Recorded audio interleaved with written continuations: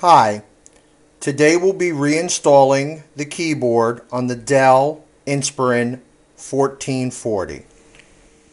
First, install the ribbon cable and snap down the clip that holds it in place. Once the cable is in place, you'll notice that there will be tabs on the bottom of the keyboard. Slide the tabs down into the trackpad, then securely snap into place the sides of the keyboard.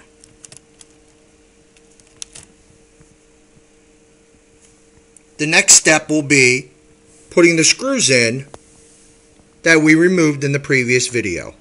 Next, make sure there are no obstructions before you snap back on the cover that covers the power button and the speakers. Lastly, snap the plastic cover in starting from the left side to the right. Then make sure you secure all the way across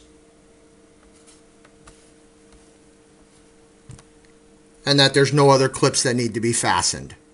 At this point, the repair is done.